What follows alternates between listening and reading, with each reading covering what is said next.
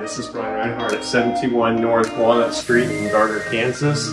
This is a beautiful ranch home.